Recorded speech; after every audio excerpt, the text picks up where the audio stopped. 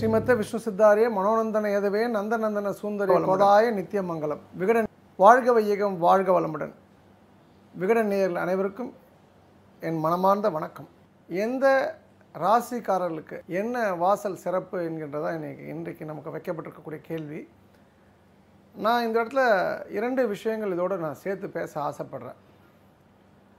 பொதுவாக நம்ம வாஸ்து என்கின்ற என்ற ஒரு விஷயத்தை பார்க்கும்போது யுனிவர்சல் ட்ரூத்தாக uh, இருக்கணும் அது.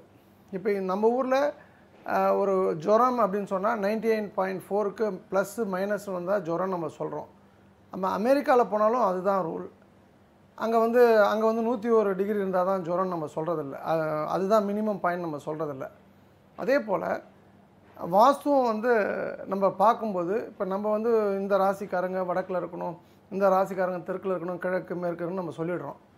அமெரிக்காவில் இதெல்லாம் பார்க்கலையே. அவங்க நம்மளுடைய பவர்ஃபுல்லாக இருக்காங்களே. உலகத்தையே ஆட்டி படைக்கக்கூடிய வல்லரசாக இருக்கின்றார்களே. ஜப்பானில் இது பார்க்கலையே. ஜெர்மனியில் பார்க்கலையே. அப்போ இதை நம்ம டெஃபினட்டாக கவ கவனத்தில் கொள்ளணும். இரண்டாவது விஷயம் ஒரு வாசல் பற்றி நம்ம சொல்லும்போது கெட்டும் தெற்கு பார்த்த வீட்டுக்கு போகாது அப்படின்லாம் ஒரு பழமொழிலாம் உண்டு.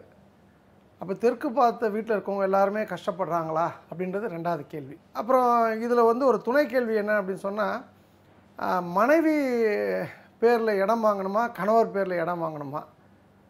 அப்புறம் வந்து நட்சத்திரம் வந்து மனைவியோட நட்சத்திரம் கணக்கில் கொள்ளணுமா? பூஜை போடும்போது வாசல் வைக்கும்போது இல்லை கணவரோடது எடுத்துக்கொள்ளணுமா அப்படின்லாம் கேள்விகள் துணை கேள்விகள் நிறைய உண்டு. பொதுவாக வடக்கு கிழக்கு பார்த்த மனைகள் அப்படின்னு சொல்லும்போது வாஸ்துபடி ஒரு நம்ம வீடை அமைக்கிறோம் ஒரு தொழிற்சாலை அமைக்கிறோன்னா டெக்னிக்கலாக கிழக்கும் வடக்கும் நம்ம நிறைய காலி இடம் விடும்போது வேஸ்ட் இடங்களுடைய அதாவது இடத்தோட யூட்டிலைசேஷன்றது ரொம்ப நல்லாயிருக்கும். இந்த வேஸ்ட் இடம்ன்றது ரொம்ப ரொம்ப கம்மியாகிடும் இதே தெற்கு மேற்கணும் போது நம்ம ஒரு ரூல் படி நம்ம காலி இடம் கொஞ்சம் அதிகமாக விடணும்னா அதை விட அந்த ஆப்போசிட் சைடில் அதிகமாக விடணும் போது அப்போ நம்ம எஃபெக்டிவ் யூட்டிலைசேஷன் ஆஃப் ப்ளே இந்த ஸ்பேஸ்ன்றது ரொம்ப ரொம்ப கம்மியாகிடுன்றது நம்ம கவனத்தில் கொள்ளணும். என்னை பொறுத்த வரைக்கும் கிழக்கு வடக்கு பார்த்த மனைகள் ரொம்ப சிறந்தது. இப்போ தெற்கு மனை அப்படின்னு சொன்னால் கிழக்கில் வாசல் வைக்கும்போது நம்ம இதே ரூலை கொண்டு வந்துடலாம் மேற்கு பார்த்த மனை அப்படின்னும்போது வடக்கில் வாசல் வைக்கும்போது இதே ரூலை கொண்டு வந்துடலாம் இந்த இடத்துல நீங்கள் என்ன கவனிக்கணும்னு சொன்னால் இப்போ தெற்கு பார்த்த வீட்டுக்கு போகக்கூடாது அப்படின்னு சொன்னால் தெற்கு பார்த்த வீட்டுக்கு போகக்கூடாதுன்னா தெற்கில் வாசல் எந்த ஓரத்தில் இருக்கின்றதை நம்ம பார்க்கணும். அது கிழக்கு ஒட்டி இருக்கின்றதா அல்லது வந்து மேற்கு ஒட்டி இருக்கின்றதா நம்ம பார்க்கணும்.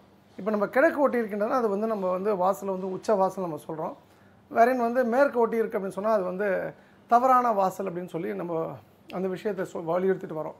அப்போது நான் உங்களுக்கு சொல்லக்கூடிய விஷயம் என்னென்னா நீங்கள் வந்து யூனிவர்சல் ரூலாக இருந்துட்டு போட்டோம். இதுதான் ட்ரூத் யூனிவர்சல் ட்ரூத்துன்னு நினச்சிங்க. வாசலை பொறுத்த வரைக்கும் எந்த திசை வேணால் இருக்கலாம். கிழக்கு என்கின்ற ஒரு வாசல் நம்ம வைக்கிறோம். தலைவாசல் வைக்கிறோம். கேட் வைக்கிறோம் அப்படின்னு சொன்னால் அது வடக்கு ஒட்டி இருக்கணும். ஈஸ்ட்னால் நார்த்துக்கு க்ளோஸாக இருக்கணும். வடக்கில் வாசல் வைக்கிறோம் அப்படின்னு சொன்னால் அது ஈஸ்ட்டுக்கு க்ளோஸாக இருக்கணும். கிழக்குக்கு க்ளோஸாக இருக்கணும். ஸோ இதை கவனத்தில் வச்சுங்க. இப்போ தெற்கில் தான் வாசல் வைக்கிறோம் அப்படின்னு சொன்னால் தெற்கில் வைக்கக்கூடிய வாசலானது கேட்டோ மெயின் டோரோ அது கிழக்கு ஒட்டி ஈஸ்டர்ன் சைடுக்கு க்ளோஸராக இருக்கணும். இதே மேற்கு ஒட்டி நம்ம வாசல் வைக்கிறோம் அப்படின்னு சொன்னால் அது வடக்கு ஒட்டி இருக்கணும். ஸோ ரொம்ப சிம்பிள் அப்போ வடக்குனா கெ கிழக்கு ஒட்டியும் கிழக்குனா வடக்கு ஒட்டியும் தெற்குனா கிழக்கு ஒட்டியும் மேற்குனா வடக்கு ஒட்டியும் வாசல் இருந்ததுன்னா இதுதான் உச்ச வாசல் உச்ச பகுதியில் வைக்கக்கூடிய வாசல் தான் உச்ச வாசல் நம்ம சொல்கிறோம் ஸோ இந்த வாசல் தான் நம்ம கணக்கில் கொள்ளணுமே ஒழிய நம்ம வந்து நாலு நட்சத்திரங்கள் கொண்டு நம்ம வாசலில் வைக்கிறோம் அப்படின்னு சொன்னால் வீட்டில் ஒரு எட்டு பேர் இருப்பாங்க. நம்முடைய அப்பா தான் தலைவர். நம்ம அதுக்கு அடுத்த ஜென்ரேஷன் சொன்னால் அப்பா வேறு ராசியாக இருப்பார். அவருக்கு வந்து கிழக்கு பக்கம் பையன் வந்து வேறு ராசி அவனுக்கு மேற்கு பக்கம் அம்மா வந்து இன்னொரு ராசி இப்படி பண்ண முடியாது. நம்ம ஒரு வீட்டுக்கு மூணு வாசம் நாலு வாசம் இன்றைய காலகட்டத்தில் சாத்தியமில்லாத ஒரு விஷயம். நம்ம வந்து வாசி என்கின்ற ஒரு பெரிய விஷயத்த இன்றைக்கி வாழக்கூடிய சூழ்நிலைக்கு ஏற்ப கொஞ்சம் ஆல்டர் பண்ணி ஒரு சின்னதாக எல்லா விஷயங்களையுமே கொண்டு வர முடியாததோட கூட ஓரளவுக்கு நம்ம வந்து விஷயங்களை கொண்டு வந்து வாழக்கூடிய ஒரு விஷயம். வாஸ்து என்பது என்ன? இயற்கையோடு ஏந்து வாழ்கிறது தான் வாஸ்து. அப்போது இயற்கை என்று நம்ம என்னெல்லாம் வந்து என்ஜாய் பண்ணலாம்னா மூணு என்ஜாய் பண்ணலாம் சன் என்ஜாய் பண்ணலாம் காற்று இதுதான் நம்ம சொல்லக்கூடிய விஷயங்கள். அப்போது நிறைய திறப்புகளுடன் நிறைய ஜன்னலோட சூரியனும் காற்றும் அந்த நிலா நில வெளி நிலாவோட வெளிச்சமும் வந்துட்டு போகுது அப்படின்னு சொன்னால் இதை விட வந்து ஒரு ரம்மியமான விஷயம் ஒரு மனிதனுக்கு எதுவுமே இருக்க முடியாது. ஸோ இது போன்ற விஷயத்தை தான் நம்ம கவனம் செலுத்தணுமே ஒழிய இந்த ராசி இந்த நட்சத்திரத்துக்கு இந்த வாசல்ன்ற ஒரு விஷயத்தை விட்டுருவோம்.